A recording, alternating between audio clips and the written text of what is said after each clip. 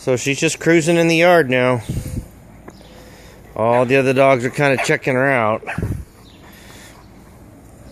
But she's getting used to it. And if she doesn't like them, she'll tell them. You tell them, Flower.